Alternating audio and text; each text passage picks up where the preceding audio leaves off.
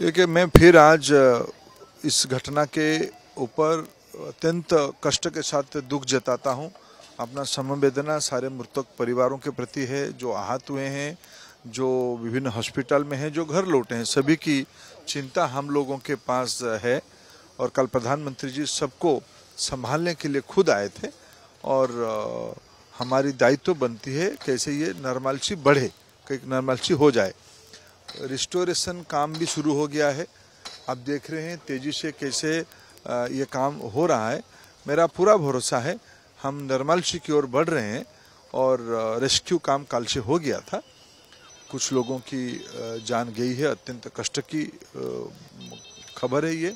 और सभी को जो आहत हुए हैं, सबकी चिंता किया जा रहा है।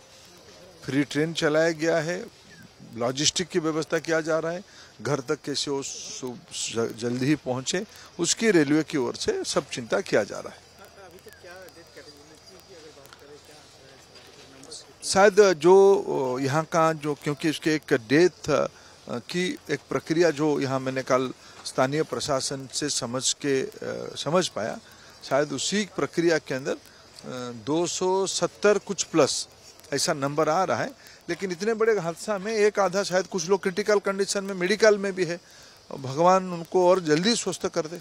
देखिए मैं इस क्षण में कोई राजनीतिक भाषण नहीं कहना चाहता हूँ।